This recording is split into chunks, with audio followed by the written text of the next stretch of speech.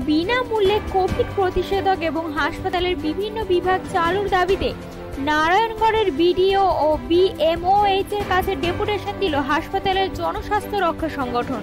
আগামী দু মাসের মধ্যে তৎপরতার সাথে সমস্ত নাগরিকদের কোভিড প্রতিষেধক টিকা বিনামূল্যে দেওয়া।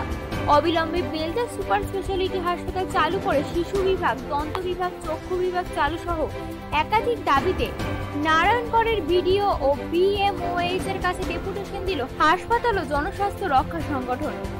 বুধবার সংগঠনের পশ্চিম মেদিনীপুর জেলা কমিটির আহ্বানে বেলদা আঞ্চলিক কমিটির পক্ষ থেকে ভ্যাকসিন দ্রুত দেওয়ার দাবিতে বেলদাতে ট্রাফিক স্ট্যান্ডের সামনে পথসভার আয়োজন করা হয়। ব্লকের সমস্ত অঞ্চলে কোভিড টিকাকরণের ব্যবস্থা করা হয়। বেলদা হাসপাতালে প্রসূতি মায়েদের সিজারের ব্যবস্থা, ব্লক প্রাথমিক স্বাস্থ্য কেন্দ্রে অ্যাম্বুলেন্স ও অক্সিজেন মজুত রেখে রোগীদের স্বাস্থ্য পরিষেবার দাবি জানিয়ে বক্তব্য রাখেন বক্তারা। একই দাবিতে বিএমওএইচ ডাক্তার আশিস কুমার মণ্ডল ও নারায়ণগড়ের বিডিও রেণুকা খাতুনের কাছে ডেপুটেশন দেয় সংগঠন। এদিনের কর্মসূচিতে উপস্থিত ছিলেন মানস কর, ভোলানাথ অধিকারী, দিলীপ মণ্ডল ও অশোক কর সহ আরও অনেকে। আমরা আজকে হাসপাতাল হাসপাতাল ও জনস্বাস্থ্য রক্ষা সংগঠন বেল্লা আঞ্চলিক কমিটির পক্ষ থেকে মাননীয় বিডিও সাহেবা এবং ব্লক স্বাস্থ্য আধিকারিকের কাছে আমরা একটা ডেপুটেশনের প্রোগ্রাম নিয়েছি। আমরা এইমাত্র ব্লক উন্নয়ন আধিকারিকের কাছে ডেপুটেশনটা দিয়ে এলাম। আমরা নিম্নলিখিত দাবিগুলির ভিত্তিতে আমরা সাধারণত ডেপুটেশনটা দিয়েছি আজকে। ডেপুটেশনের বিষয়টা আমাদের সাতটা দাবি রয়েছে।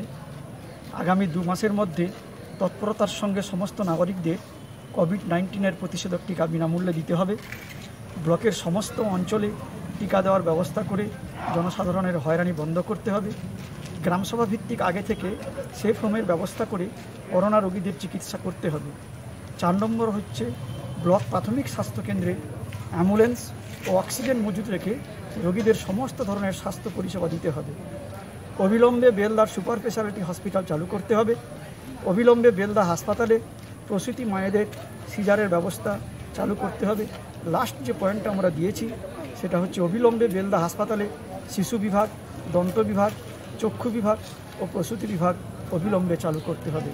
আমরা এই সাতটা দাবির ভিত্তিতে আমরা মাননীয় বিডিও সাহেবের কাছে আমরা ডেপুটেশনটা দিয়েছি। তিনি আমাদের ডেপুটেশনের কপি নিয়েছেন।